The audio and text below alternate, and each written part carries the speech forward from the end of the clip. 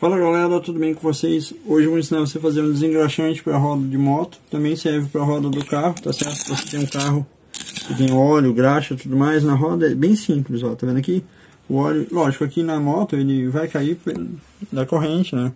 Conforme você lubrifica e vai andando com a moto, até mesmo com o tempo vai juntando óleo e sujeira na roda da moto. Isso aqui meu irmão mais velho me ensinou a fazer.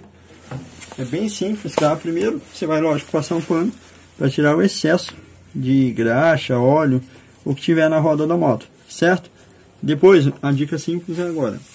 Você vai pegar um pouquinho de álcool, mais ou menos aí quatro tampinhas de álcool, uh, meia caneca de água e duas tampinhas de detergente, misturar numa garrafa, tá? ou você pode misturar no baldinho, vai colocar no pano, ó, se você quiser no pano. Vou achar um ponto aqui que tem, que tem bastante.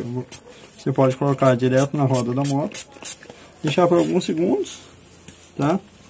Depois você vai lavar, lógico, a, o aro e o pneu da moto para não ficar aqui, tá certo? Ó.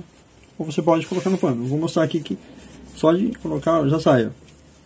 Tá vendo? Na hora. Então é... Dá para tirar somente com detergente e água? Sim, dá para fazer isso detergente e água normalmente. Porém, desse jeito é mais fácil. Por exemplo, deixa eu mostrar para vocês. Quer ver? Aqui, ó. Esse ponto aqui. Bastante. Tá? Eu vou colocar diretamente no pano.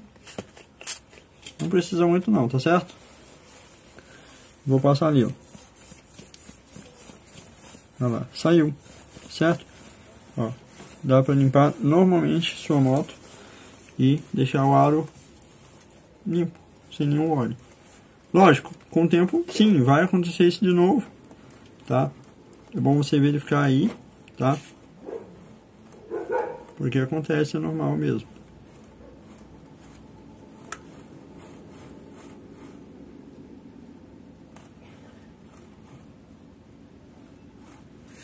Mas é isso aí. Funciona.